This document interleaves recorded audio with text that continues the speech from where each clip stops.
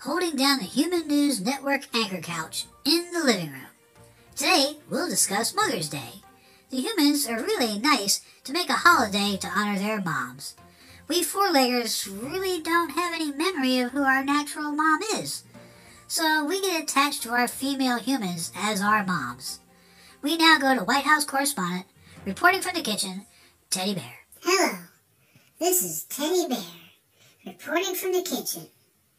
Yeah, man, I have no idea who my dog mom really was.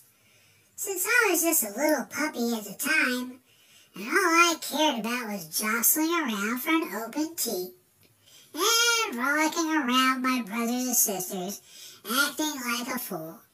But I do remember my human mom real good, and she taught me how to be a good dog. I love my human mom.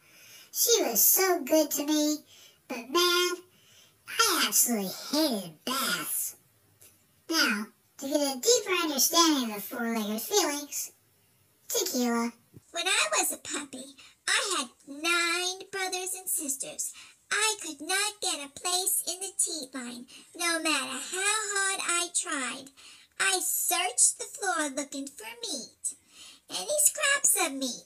Meat, meat, meat. That's all I wanted was meat. Over to you, Herb.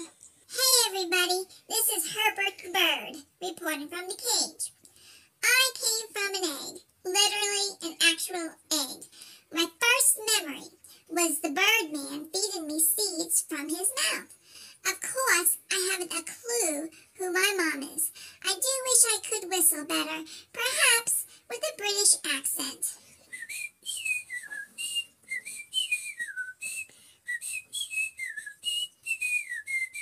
Well, there you have it, folks. Moms really do rule, and I'm glad they do. I thank them for all their love, caring, and treats. Happy Mother's Day. This is Baxter from the Anchor Couch. Hang in there.